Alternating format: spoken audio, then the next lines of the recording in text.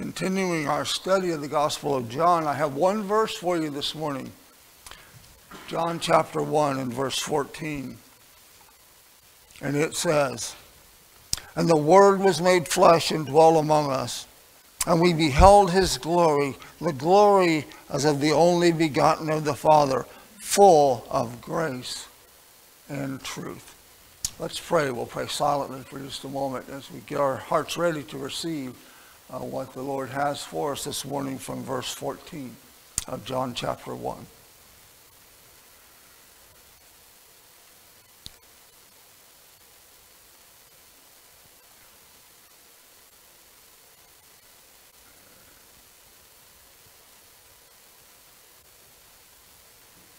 Father, we come now humbly uh, before your throne of grace to sit at your feet and be taught of you. And you sent this other comforter, the Holy Spirit, to teach us your truth. We want to understand that truth this morning, and so we ask for his help as we study to show ourselves approved and we attempt to rightly divide the Word of God. Help us, we pray, in Christ's name. Amen. Please be seated. You know, the exodus of Israel was one of the greatest mass migrations of history. I've read that over 2 million Israelites left the bondage there in Egypt.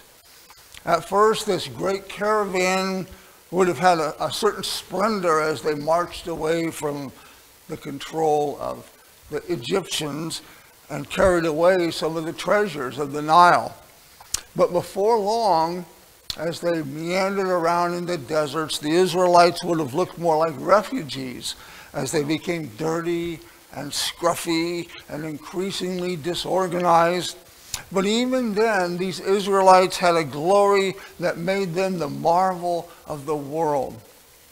At the center of their camp was the tabernacle of the Lord, and above it was this cloud of fire that God used to guide his people. And inside was the Ark of the Covenant with the glory of the Lord filling the tabernacle. Now, Christians are likewise unimpressive during our pilgrimage to the desert world. I don't think people look at you individually or, or Christians in general and marvel at them. Mostly they just kind of think we're weird if they're lost people. But like the Israelites, the Christian church has the glory of God in its midst. And so John writes, And the Word was made flesh and dwelt among us. And we beheld his glory, the glory as of the only begotten of the Father, full of grace and truth. The Gospel of John, folks, was written in order to make this great statement. John's introduction has been telling of Christ coming into the world kind of in theological terms. He began by saying Jesus is the eternal Word who was with God from the beginning. The Word came as a light into the darkness. And now verse 14 tells us how all this happened. And the Word was made flesh and dwelt among us. These verses are talking about the doctrine of the incarnation of Christ. As you all know, Jesus of Nazareth was born of the Virgin Mary in a stable in Bethlehem. But that wasn't when he came into being. John says right at the beginning of his gospel, in the beginning was the Word. Remember, I taught you that the Word is the Greek word logos, and it has to do with the Greek mindset that you know, th this is why things happen. This is why we have seasons. This is why we have order in the world. They call it the Logos. And John says, in the beginning was the Logos. And I said, we can substitute the name Jesus and get the sense of that. The Word was there. God the Son, the Word. He didn't come into existence when he was born here on earth, but he became a human being while at the same time remaining God. Our London Baptist Confession of Faith of 1689 on page 674 in the back of your hymn book says in chapter 8 in verse 2, the Son of God did when the fullness of time was come, take upon him man's nature, with all the essential properties and common infirmities thereof, yet without sin. So Christ's incarnation means that the Son of God became a human in the fullest sense without losing any part of being God at the same time. Paul teaches us in Colossians 2 9 that in him dwelleth the fullness of the Godhead bodily. Likewise, Jesus is sinless without losing his full humanity. He is uncorrupted, true humanity. Now, when John speaks of our flesh, he doesn't refer to our sinful nature, as is Paul's meaning of this term, but simply our human nature. He became flesh. He took on our human nature. John means that he gained a human body, and that was necessary because he had to suffer death for us. Jesus also possessed a human mind and a human heart. He feels what we feel, including sorrow and joy and weariness and temptation. All of those human things that we deal with, he dealt with. And because of this, he's able to sympathize with us in our trials and in our struggles. Additionally, Jesus lived a human life in the same world that we live in. He was born, he grew up as a boy, he learned a trade in his father's, his earthly father's carpenter shop. He had friends, he had neighbors, he paid his taxes, he was subject to government, the government that existed in his day. And because he truly lived as we live, Jesus sets an example for us to follow. These then are the three main reasons why the Word became flesh. He came to die, He came to sympathize with us, and to show us how to live. What I've just said, folks, is the most outstanding news that could ever be reported. I know you hear it all the time, it's still the most outstanding news. C.S. Lewis said, the central miracle asserted by Christians is the incarnation. They say that God became a man. He goes down to come up again and brings the whole ruined world up with him. And Paul wrote in 1 Timothy 3:16, and without controversy, great is the mystery of godliness. God was manifest in the flesh. I don't understand that. I can't get you to understand that. How can one person be God and man at the same time? I cannot explain that to you. But the Bible does show clearly that Jesus possessed two distinct nature. One was divine and one was human without any mingling or confusion between them. That's what the Bible teaches, and I have to believe that, whether I get it or understand it or can explain it or not. You know, the Greek mythologies, they had their gods, and they spoke of gods who would come down to earth for a while until they got tired or they got killed or something and returned back to the clouds. But nowhere in the ancient world was there any idea of God becoming a man, the Word taking up flesh. Hymn number 158, verses 2 and verse 5 say, Lo, within a manger lies he who built the starry skies, thus to come from highest bliss down to such a world as this. Now, what does that say about God's desire for our salvation? That He actually stepped into our world and became one of us. That's incomprehensible. It would be like somehow you and I being able to become fire ants and coming down in order to save fire ants. I hate fire ants. They apparently don't like us because if you step in one of their mounds, they bite you and it hurts. Would I become a fire ant to save fire ants? Absolutely not. But God did. He became a human being like us in order to save us. This shows the value of every human life, given the dignity that God gave to human beings above all other creatures. First, he created us in his own image, as Genesis 1:26 says, and then he sent his own son to become a son of man so that we might become in him the sons and daughters of God, as we spoke last week, being part of the family of God. John doesn't just tell us that the Word became flesh, but he also tell us, tells us that, the, that he dwelt among us. Now, the, this phrase uses a verb from the Greek word for tabernacle. Skenoo is the Greek word. And literally, John is saying that the Word, Jesus, tabernacled among us.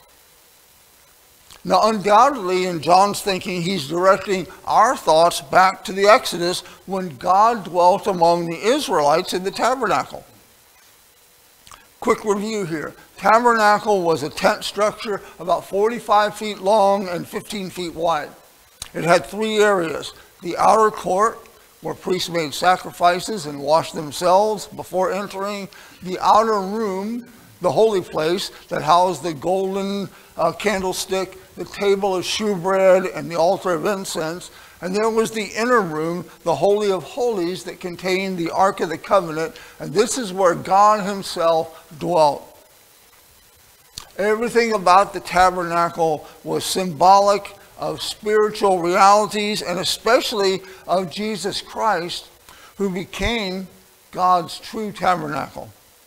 I want you to take note of some of the obvious comparisons between the tabernacle and Jesus himself.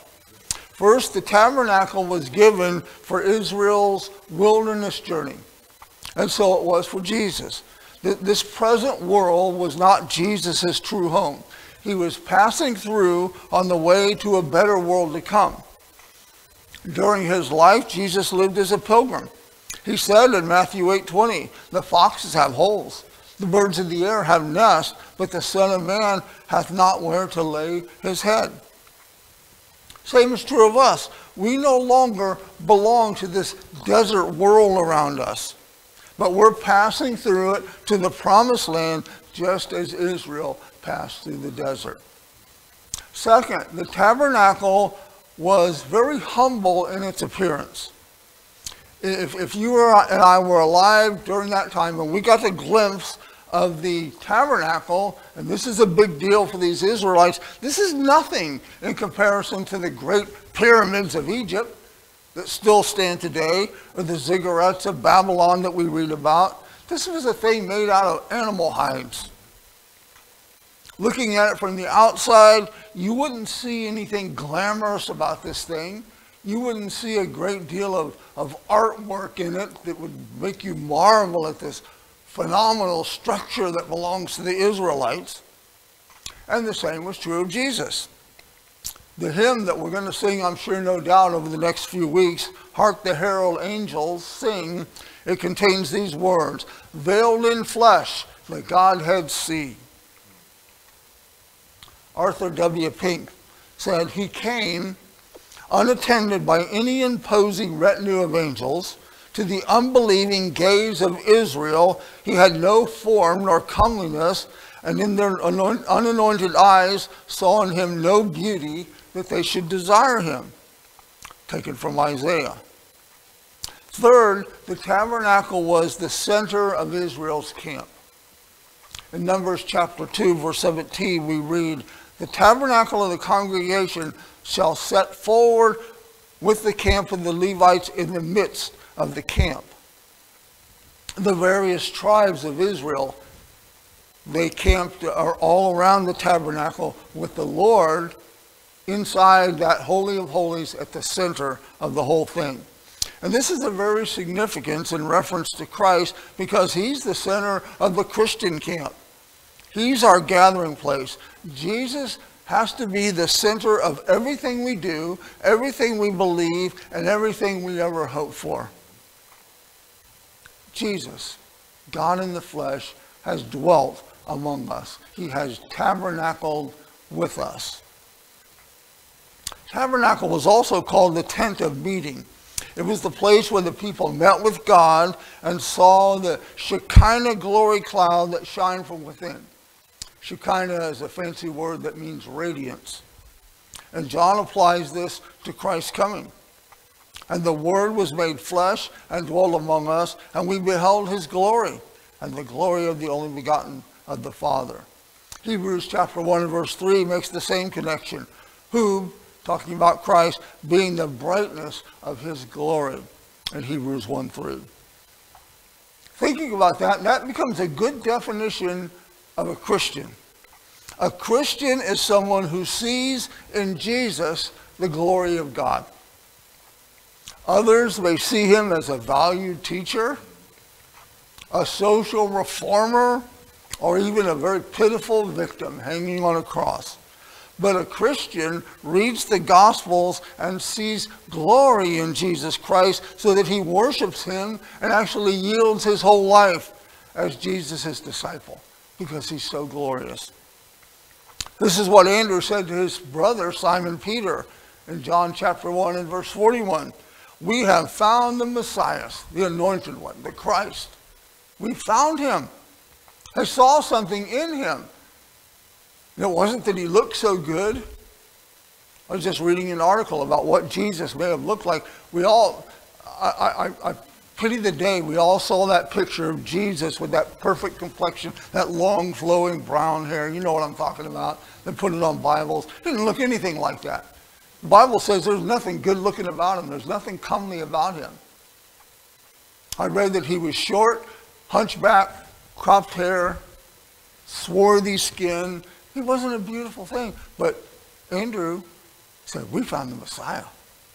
There's something glorious about this man. Later, when the crowds were leaving Jesus because he didn't teach them what they wanted to hear, Peter said, Lord, to whom shall we go? Thou hast the words of eternal life, and we believe that thou art sure that thou art the Christ, the Son of the living God. That's what makes you and I a Christian. Now, the word that John uses here for we beheld, theomahi, has a rich meaning, including the idea of personal contact and interaction. It's elsewhere used for stopping by someone's place in order to see a person. Romans chapter 15 and verse 24. You read the words to see, and that's the same word here. Theomani, theomai. John means that believers commune with Christ in his glory. And that's what makes us Christians and also makes Christianity so exciting as our faith grows and we discover his glory more and more and more, which I hope takes place today.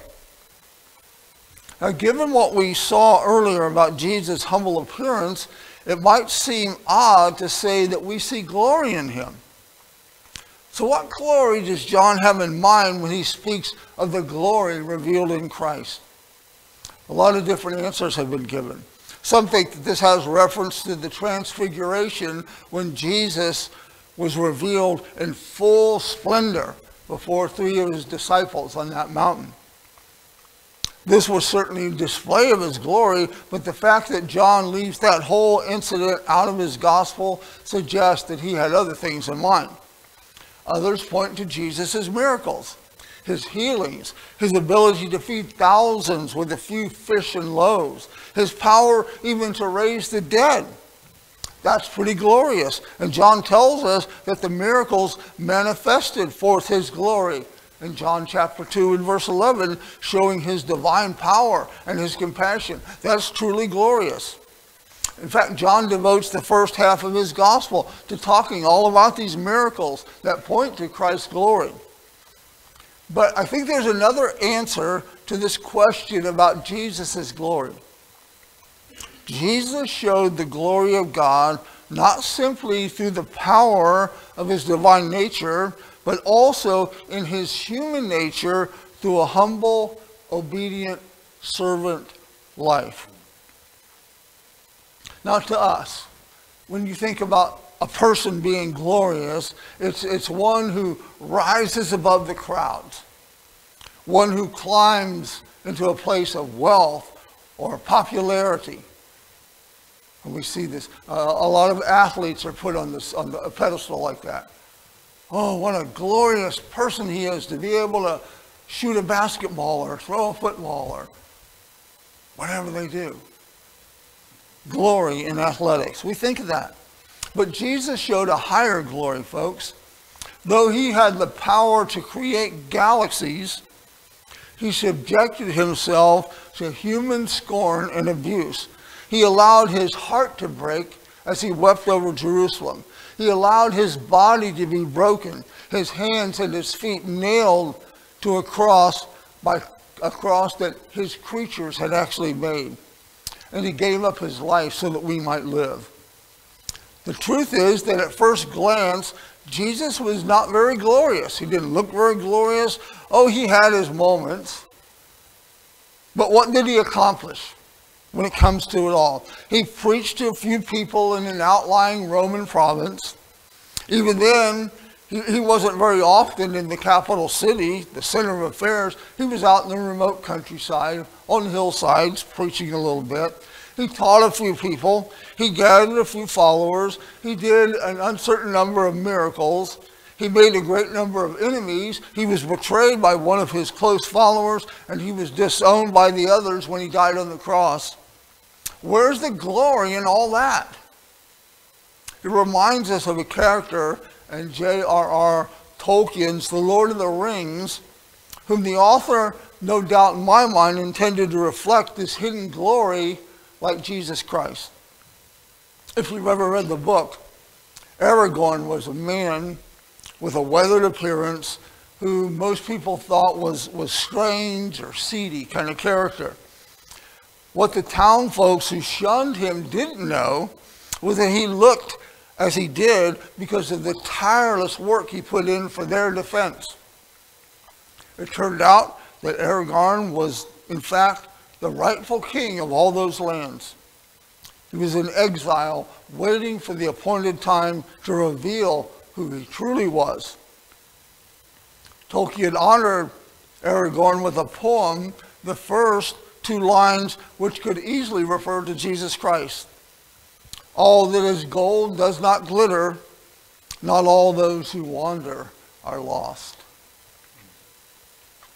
Jesus may have been seen as somebody who's wandering around, but no one could have moved with greater purpose. And though he didn't glitter with gold, he bore a glory that was far, far greater the glory of humble obedience to the will of God. At the end of his mission, the night of his arrest, Jesus prayed to the Father in John chapter 17 and verse 4. And he said to the Father, I have glorified thee on the earth. I have finished the work which thou gavest me to do. This was the humble glory of an obedient life.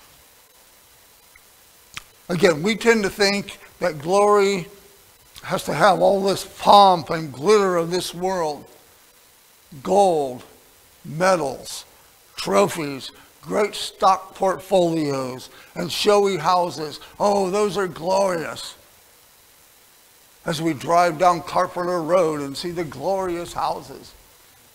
And maybe some famous athlete. We drive by his house. I drove by the house of LeBron James. Did you know that? Actually, for all the money he has, his house wasn't that glorious, but you know, people drive by. That's where the glorious LeBron James lives. And I beheld his house. People think like that. That's how we think.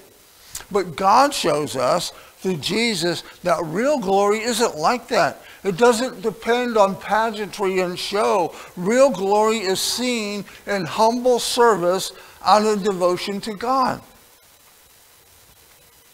Regarding Jesus, where people needed help, he helped them. Where they were sick people, he healed them. When there were ignorant folks, he taught them. When there were hungry people, he fed them. All the time, he's looking out for these needy people.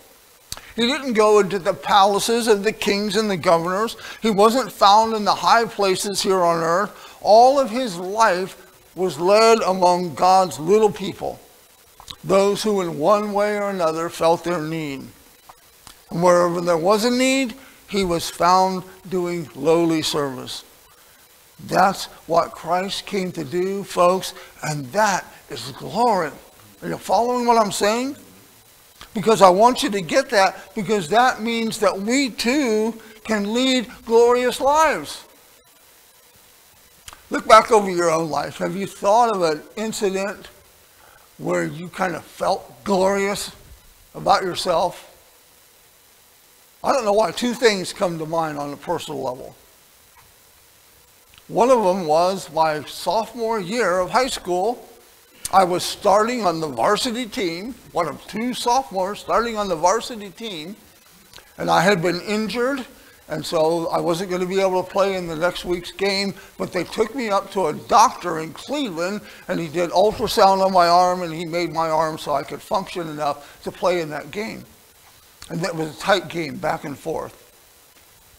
And the other team from Tuscarawas Valley was driving for the winning score and the quarterback dropped off, and I dropped back into pass coverage, and he threw that ball, and it was way up there, and I jumped as high as I could, and I grabbed that ball, and I intercepted the winning pass, and I won the game. Oh, that was glorious. That's what I think of. Oh, what a glorious thing.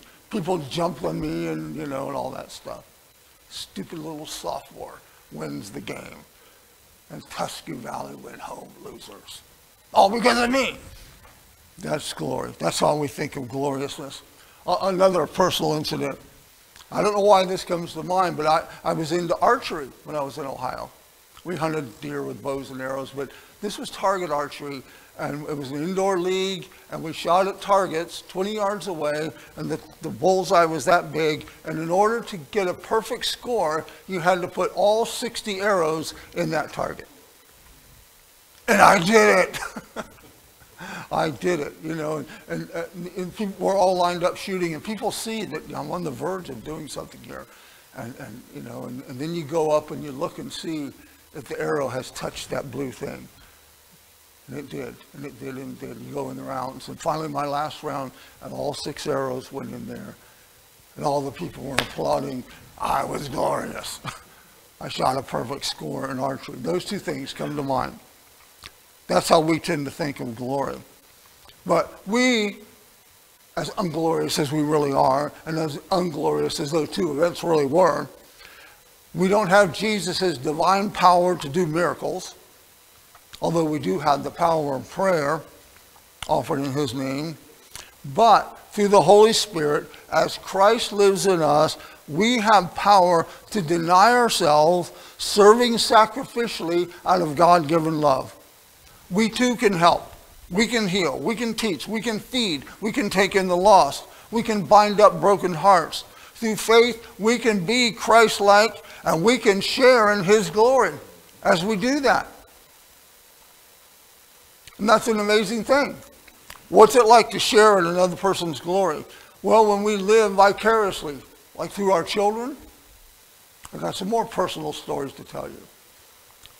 God blessed me with three very talented children in different ways. Kevin could play baseball very well. Christy was an outstanding tennis player. And Marianne, as you know, was an outstanding flute player. And whenever they did something good, Kevin hit a home run at the Titusville field. I don't think there'd been a home run hit in years, and he hit a home run.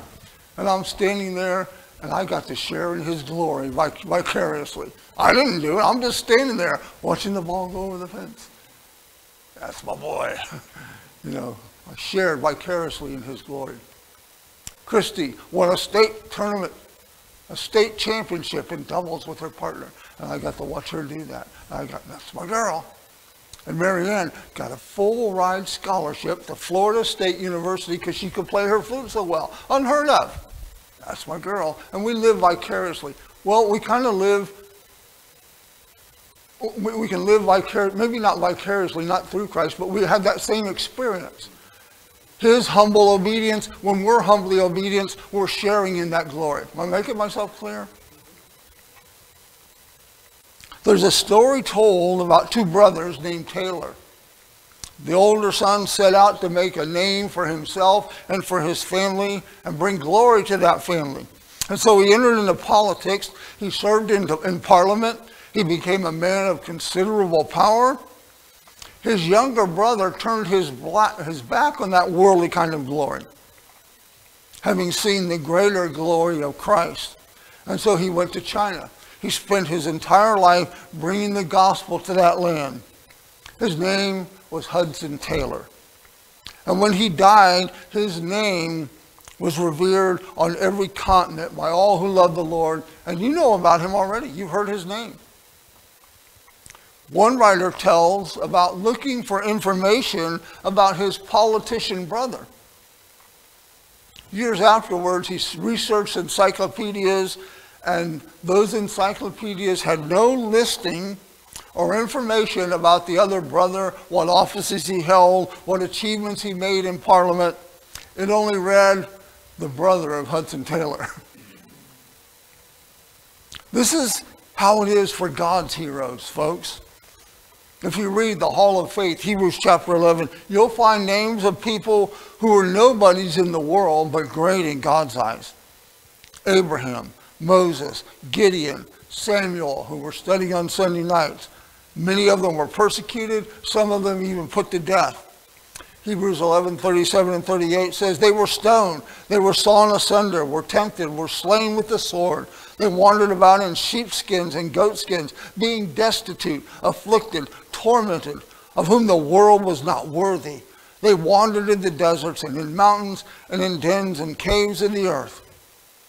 But because of the humble obedience of their faith, they achieved glory that people in this world will never know. And we get to share in that, folks. Hebrews 11, 16 says, Wherefore God is not ashamed to be called their God. I want that to be said about me and you. He's not ashamed of us. He's not ashamed to be our God. Why? Because we're great athletes, because we got lots of money and all. No, because we're humble, obedient servants. John ends this great verse by saying, and we beheld his glory, the glory as of the only begotten of the Father, full of grace and truth. Here are two specific aspects of God's glory that Jesus revealed. Re he revealed his grace and his truth. I mentioned a number of ways in which the tabernacle symbolized Jesus Christ, but one that I left out is the tabernacle was the place where the sacrifices were made to atone for sin. From the time of Adam and Eve, God had revealed that the wages of sin would be death. We read that in Genesis 2.17 as well as Romans 6.23. Sin is not just kind of a, an illness or some dysfunctioning among ourselves. It's a violation of God's law and an offense to his perfect holiness. And therefore, sin must be punished, and it has to be punished by death. But in his grace, this unmerited mercy and favor, God has provided a sacrifice to die in our place. How many times have you heard that from this pulpit? But this was symbolized by the tabernacle, by the tabernacle where bulls and sheep and goats were brought to bear the punishment for the sins of Israel's people. Those sacrifices pointed forward to Jesus Christ, whose cross is the true tabernacle and reveals the grace of God to sinners by his death on the cross. The cross was the greatest display of the glory of God's grace.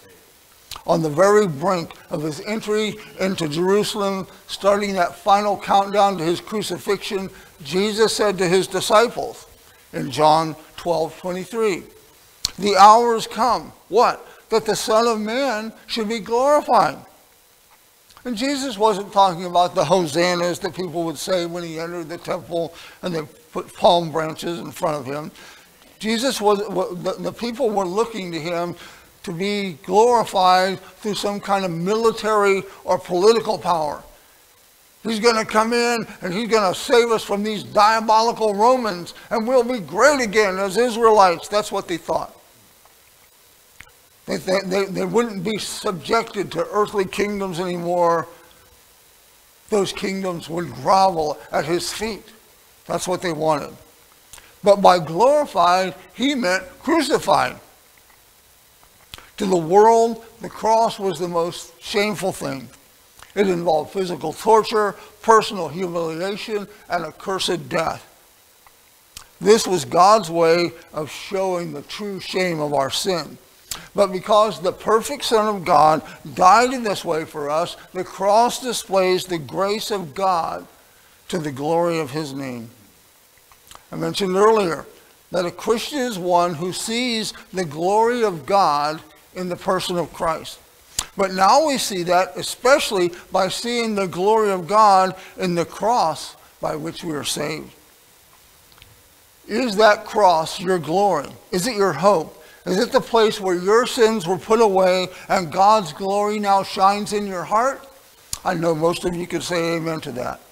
But unless you have believed on the cross for the forgiveness of your sins, there is no heavenly glory for you, but only the shame and guilt that you will bear for all eternity. Paul speaks for every Christian when he says, But God forbid that I should glory save in the cross of our Lord Jesus Christ, by whom the world is crucified unto me, and I unto the world. Galatians 6:14. Jesus first glorifies God's grace to us, but then he leads us into the glory of God's truth. This is another feature of the tabernacle. It was the place where God's word was revealed. The tablets of the Ten Commandments were kept in the tabernacle, and Moses came there to receive God's word for the people. Once Moses asked for a more intimate revelation. I beseech thee, he said to God, show me thy glory. Exodus 33, 18. And God replied, Thou canst not see my face, for thus shall no man see me and live. But Jesus Christ is a better tabernacle. The Word became flesh so that God could show us his face. Paul explained it like this in 2 Corinthians 4 6. For God, who commanded the light to shine out of darkness, has shined in our hearts to give the light of the knowledge of the glory of God, where? In the face of Jesus Christ. People might ask, how can we know God? The answer is Jesus Christ came into this world to show the glory of the truth of God in the human face. And therefore, to reject Jesus is to reject the truth about God. But if we receive Jesus, and I hope you recall from last week what it means to receive him, if we receive Jesus, we come into the knowledge of God for the salvation of our souls. And in addition to that, Jesus left his word for us in the Bible. It too is now our glory we hold in a book the truth of God in all its glory, provided for us by the ancient prophets and the apostles of Jesus Christ. We have seen God's glory in the face of Jesus Christ, and if we have received God's grace at the cross of Christ, let us love and desire the knowledge of God's truth through the word of Christ, so that we might glorify God through our lives through humble, obedient, Christ-like service. That's why we put such a big emphasis on the Bible here. That's why we go through it verse by verse, sometimes word by word. God is calling each and every one of us, if we want to share in Christ's glory, to this humble servanthood.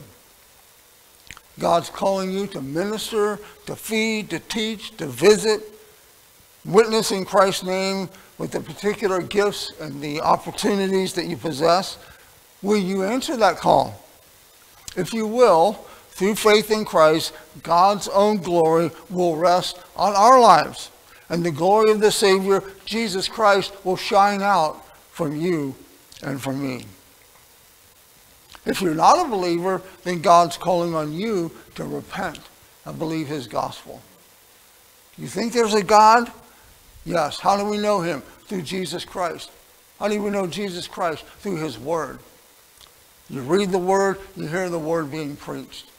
We've talked to you as a sinner this morning about the wages of sin being death. Someone's got to pay for your sin. It's either going to be you through dying without Christ and then sent to an eternal death where there's weeping and wailing and gnashing of teeth, or there's going to be a substitute Jesus Christ in your place, paying for your sins on the cross, and you receiving that truth in simple childlike faith and believing what the Word of God says about salvation. Believe in the Lord Jesus Christ, in His work, in His sacrifice, and you shall be saved. You, in simple childlike faith, must believe that, receive it to yourself, and you will be saved. And then you share glory with the Lord Jesus Christ as you become a humble servant, as we all become humble servants. Let's pray.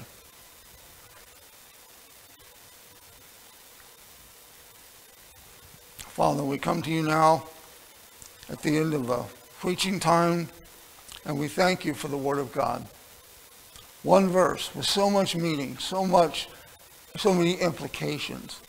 And we've tried to rightly divide that word this morning to edify your people, to build them up in the most holy faith. And so we pray that they have seen the face of Jesus Christ a little clearer this morning, that they know God a little better this morning. We need the Holy Spirit to do that.